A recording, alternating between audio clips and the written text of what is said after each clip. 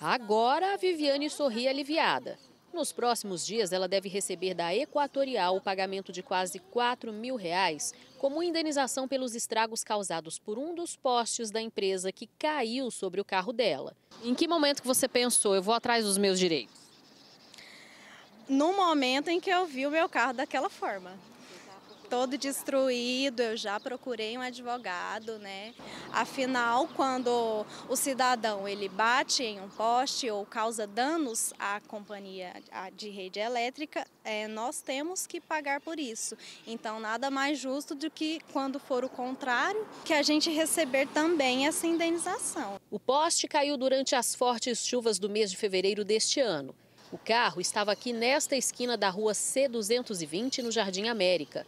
Nas imagens dá para ver bem os estragos. O poste de concreto atingiu em cheio o carro da Viviane. O carro da Viviane estava bem aqui, exatamente neste lugar no dia da queda do poste. Ela se ausentou por uma meia hora.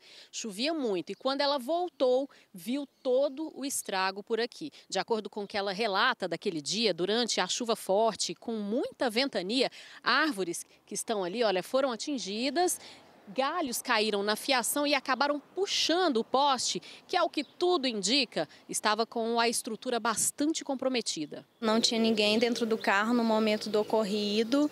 É, agradeci bastante, porque se tivesse alguém, o, o dano poderia ter sido com certeza muito maior. Além do susto e do prejuízo, foram sete horas debaixo de chuva esperando a retirada do poste para que a seguradora levasse o veículo. E a publicitária ficou três meses sem o carro até que os reparos fossem feitos. Durante esse meio tempo, eu tive que gastar bastante com transporte de aplicativos e de carona, e de carona e transporte público e tudo mais. Então, isso alterou bastante a minha rotina, comprometendo não só é, a minha saúde financeira, como também a minha saúde mental. O poste foi substituído por um novo mas a luminária continua danificada, nem funciona, além de fiações telefônicas que estão presas de forma improvisada. Na mesma semana do acidente, Viviane procurou um advogado e agora comemora a decisão da justiça. Vou receber esse dinheiro, tive aí né, o pedido atendido. Fiquei muito feliz com o resultado, porque isso demonstra comprometimento com a justiça da justiça com o cidadão.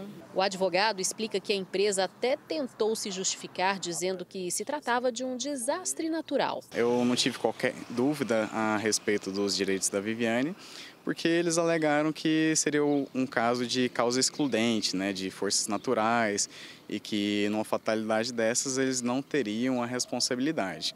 O que não é o caso. É, como a gente bem contra-argumentou nas na nossas peças, a gente demonstrou que o cidadão, que nesse caso é também consumidor, ele tem é, a garantia no Código Consumerista de que é, as empresas, né, os órgãos mantenedores da, da manutenção de, de, árvores, postes, eles têm essa responsabilidade objetiva de manter a manutenção em, em dias, o que não foi o caso, né? Quem estiver assistindo, né, se acontecer algo parecido, precisa ir atrás, precisa brigar pelos seus direitos. Com certeza, eu acho que todo cidadão tem que brigar pelos seus direitos, tem que ir atrás é, e acionar a justiça diante de qualquer, de qualquer situação semelhante a essa.